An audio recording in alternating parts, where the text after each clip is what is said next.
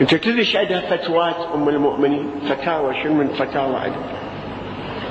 مالك ابن أنس الإمام مالك ابن أنس في من كتاب الفقه الموطأ أظن المجلد الثاني صفحة خمسة وستين للإمام مالك.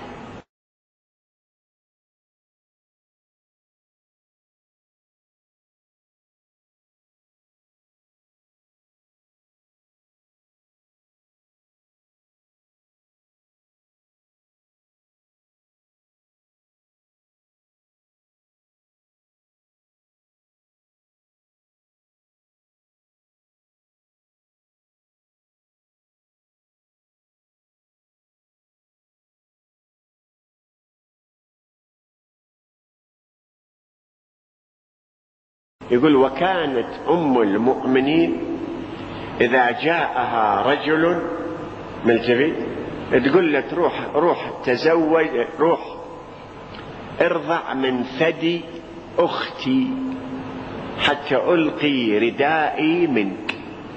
يعني حتى ألقي الحجاب بعد. زين. أنت شايف شنو شنو هاي الحكاية؟ شنو خطورتها يا أولاد؟ يعني رجل لحية وشوارب وعربي وكل طاقة وكل شهوات. يروح لأختها ملتفت يوبت أختها يرضع بديسها. هي هم تطلع الثدي هالطولة ملتفت هالكبرى يمصمص بي.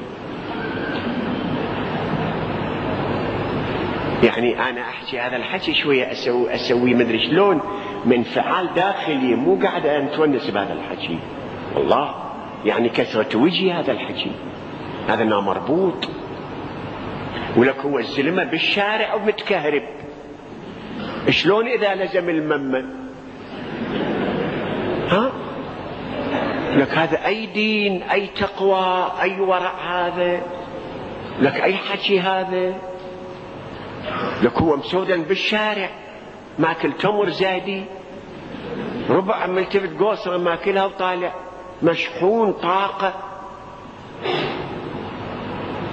مشحون ملتفت من من اللهيب هذا مال مال السعودية مال الحجاز كله برحي وخلاص وكذا. لك شلون؟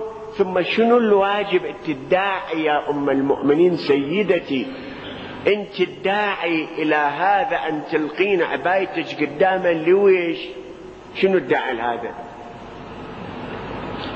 ليش تذبين عبايتك؟ إيش معنى؟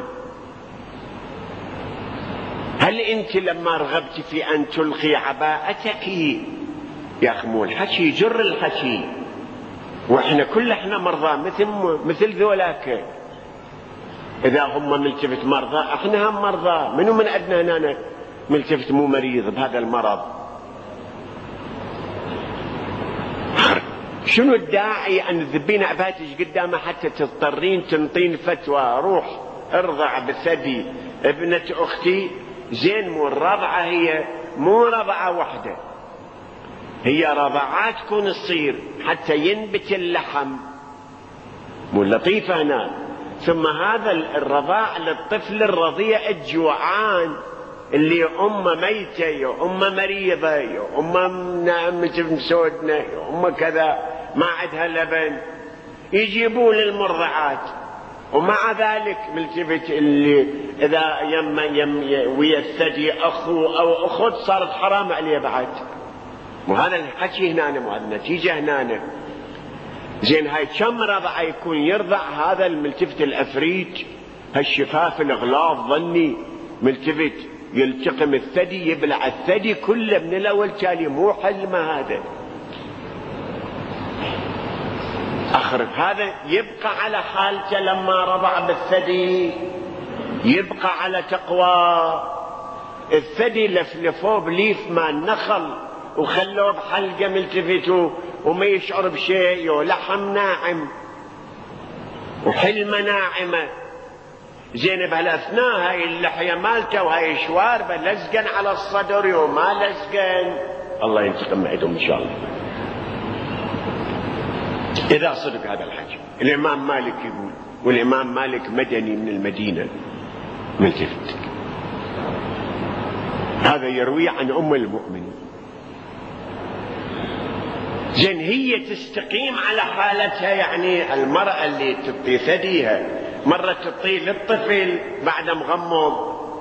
ملتفت ومقمط هذا الشيء المرأة ما تشعر بشيء لما ترضع طفل. لكن إذا أجى رجل تغيرت القضية هو يتغير وهي تتغير. يصير الشكل غير حكي يصير اللغة غير اللغة